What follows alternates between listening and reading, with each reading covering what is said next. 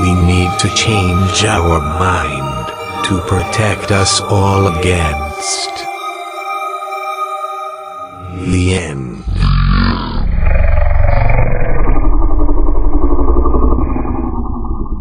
Yeah.